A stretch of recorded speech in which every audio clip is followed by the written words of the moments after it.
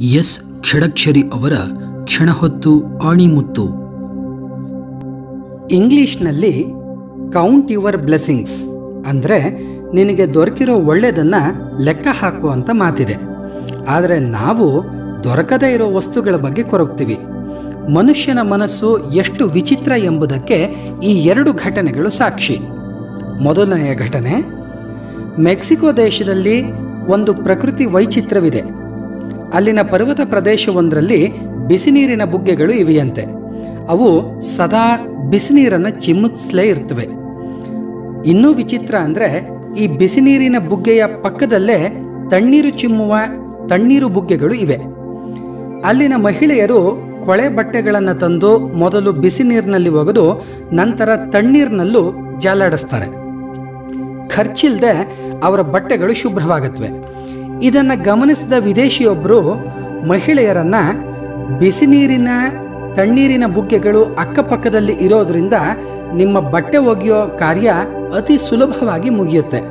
ಪ್ರಕೃತಿ ನಿಮಗೆಷ್ಟು ಸಹಾಯ ಮಾಡಿದೆ ಅಲ್ವೇ? ಅಂತ ಹೇಳಿ ಪ್ರಶ್ನಿಸಿದ್ರು.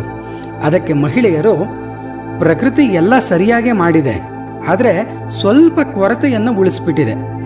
ಬಿಸಿನೀರು ಮತ್ತು ತಣ್ಣೀರಿನ ಬುಗ್ಗೆಗಳ ಪಕ್ಕದಲ್ಲೇ ಸೋಪಿನ ನೀರಿನ ಬುಗ್ಗೆಯೂ ಇದ್ದಿದ್ರೆ ನಾವು ಮನೆಯಿಂದ ಸೋಪ್ ತರಬೇಕಾದ ಶ್ರಮ ಉಳಿತಾಯ ಆಗ್ತಿತ್ತು.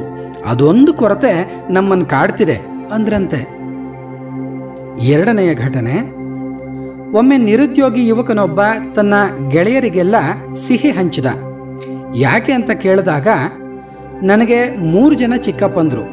ಆ ಮೂವರು ಅವಿವಾಹಿತರು. ಅವರಲ್ಲೊಬ್ಬರು ಇಂದು ತೀರ್ಕೊಂಡ್ರು.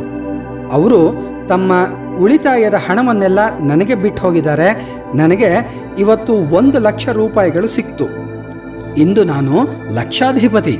ಅದಕ್ಕೆ ಸಿಹಿ ಹಂಚ್ತಾ ಇದ್ದೀನಿ ಅಂತ ಅಂದ. ಎಲ್ಲರೂ ಆತನ ಸಂತೋಷವನ್ನು ಹಂಚಿಕೊಂಡ್ರು. ಕೆಲವು ದಿನಗಳ ನಂತರ ಆತ ಗೆಳೆಯರಿಗೆ ಮತ್ತೆ ಸಿಹಿ ಹಂಚಿ ನನ್ನ ಎರಡನೇ ಚಿಕ್ಕಪ್ಪನೂ ತೀರಿಕೊಂಡ್ರು, ಅವರೂ ಕೂಡ ಒಂದು ಲಕ್ಷ ರೂಪಾಯಿಗಳನ್ನು ನನಗೆ ಬಿಟ್ಟು ಹೋಗಿದ್ದಾರೆ. ಈಗ ನನ್ನ ಬಳಿ ಎರಡು ಲಕ್ಷ ರೂಪಾಯಿಗಳಿವೆ. ಅದಕ್ಕೆ ಸಿಹಿ ಹಂಚ್ತಾ ಇದ್ದೀನಿ ಅಂತ ಅಂದ. ಎಲ್ಲರೂ ಸಿಹಿ ತಿಂದು ಸಂತೋಷವನ್ನು ಹಂಚಿಕೊಂಡ್ರು. ಕೆಲವರು ಮಾತ್ರ ಒಳಗೊಳಗೆ ಅಸೂಯೆ ಪಟ್ಕೊಂಡ್ರು.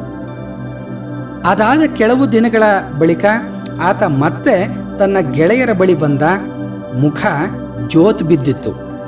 ಕಣ್ಣುಗಳಲ್ಲಿ ಕಳೆಯೇ ಇರಲಿಲ್ಲ. ಯಾಕೆ ಅಂತ ಕೇಳಿದಾಗ, ನನ್ನ ಮೂರನೇ ಚಿಕ್ಕಪ್ಪನವರು ಇಂದು ತೀರ್ಕೊಂಡ್ರು. ಅವರೂ ನನಗೆ ಒಂದು ಲಕ್ಷ ರೂಪಾಯಿ ಬಿಟ್ಟು ಹೋಗಿದ್ದಾರೆ. ನಾನೀಗ ಮೂರು ಲಕ್ಷ ರೂಪಾಯಿಗಳ ಸಾಹುಕಾರ ಅಂತ ಅಂದ. ಎಲ್ಲರೂ ಅವನನ್ನು ಅಭಿನಂದಿಸಿ ಹಿಂದೇಕೆ ಸಿಹಿ ಹಂಚ್ತಾ ಇಲ್ಲ? ಇಂದೇಕೆ ದುಃಖದಲ್ಲಿದ್ದೀಯಾ? ಅಂತ ಕೇಳಿದ್ರು. ಆಗ ಆತ, ನನಗಿದ್ದ ಮೂವರು ಚಿಕ್ಕಪ್ಪಂದರು ತೀರ್ಕೊಂಡು ನನಗೆ ಒಂದೊಂದು ಲಕ್ಷ ರೂಪಾಯಿ ಬಿಟ್ಟು ಹೋದರು. ಇನ್ನು ತಾವು ಸತ್ತು ನನಗೆ ಮತ್ತೊಂದು ಲಕ್ಷ ರೂಪಾಯಿ ಬಿಡುವ ಚಿಕ್ಕಪ್ಪಂದರು ಯಾರೂ ಉಳಿದಿಲ್ಲ. ಅದಕ್ಕಾಗಿ ದುಃಖಿಸ್ತಾ ಇದ್ದೀನಿ ಅಂತ ಅನ್ನಂತೆ. ನಾವು ಆ ಮೆಕ್ಸಿಕೋ ಮಹಿಳೆಯರಂತೆ ಅಥವಾ ಆ ಯುವಕರಂತೆ ದೊರೆತುದೆಲ್ಲವ ಬಿಟ್ಟು ದೊರೆಯದೇ ಇರುವುದನ್ನು ಕುರಿತು ಕೊರಗ್ತೀವಿಯೇ? ಯೋಚಿಸಿ ನೋಡೋಣ.